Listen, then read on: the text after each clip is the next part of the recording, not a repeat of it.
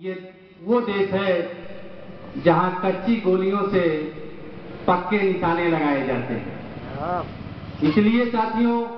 आपको अपने गरिमा आपके अपने कर्तव्य और आप अपने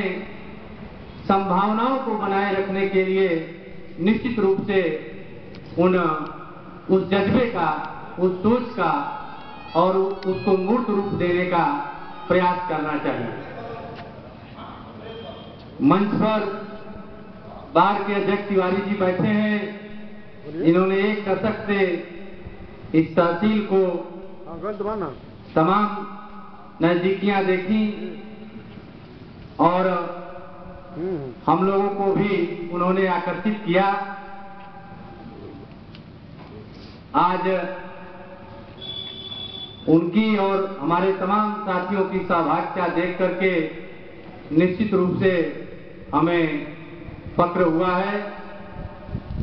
और यह कार्यक्रम चूँकि पूर्व नियोजित था और उसको सफल बनाने के लिए हमारे अधिकारीगण बिल्कुल सही समय से आवाहन किए हैं। तो ये कहने में मुझे कोई गुरेज नहीं है कि आज इसी